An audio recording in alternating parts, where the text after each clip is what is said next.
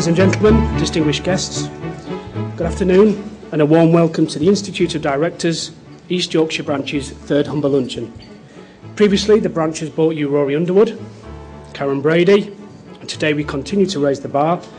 And our guest speaker today is the Right Honourable Michael Portillo. Anyway, it's marvellous to be here. I, I, have the greatest respect for the IOD, which I'll say something about in a moment. But you know, what a fantastic, what a fantastic gathering they get together. You know, 240 people here today. It's been my privilege to meet a lot of you. And I must say that you lot all the way through lunch have reminded me of something. It's come back to me now. There was an occasion when the Home Secretary uh, visited a maximum security prison. And uh, and when he got there, he said, you know, they said, you know, Home Secretary, leap up on the parapet and we will line up all the prisoners in front of you and, and you can make a speech to them. And they were a pretty motley crew, actually. There were muggers and burglars and thieves and rapists and arsonists and murderers and, uh, and Jeffrey and Jonathan. And, uh, and the, the, you know, the Home, Home Secretary had a pretty good idea what sort of speech to make, but you know, how on earth do you begin? You can hardly say it's an immense pleasure to be with you all today. Uh, neither can you say, you know, rarely do I have the opportunity of addressing such a distinguished audience as this. And so in the end, he, he, he just got exactly the right phrase. He said, I just can't tell you how pleased I am to see so many of you here today. uh,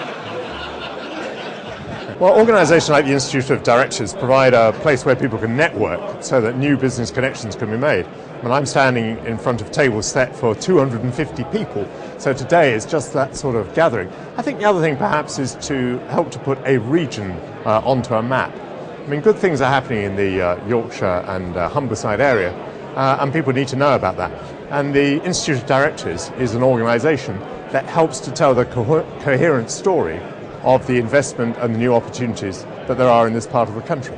The importance of it, you can see it now. It's happening behind us. It's people getting to know each other or people reacquainting themselves because all too often people are sat behind the desks. Uh, you know, that, that's where things happen. You come here and chance conversation, something of that nature. You can do some business, or you'll say, "I haven't seen you for a long time." You know, pop in and see me, and that's where business. And we all we all rely on each other. That's the local economy.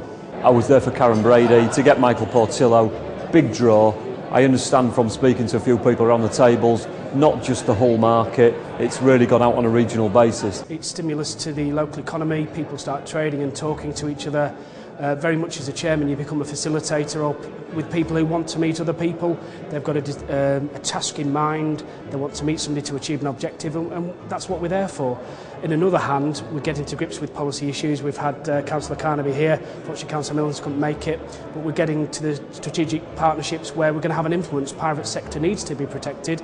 It's not about them selecting who goes on from the business. It's about business selecting those people who are going to represent their interests greatly. Uh, with an event here today, people start emerging, we start to know each other, and, and hopefully lead on from there.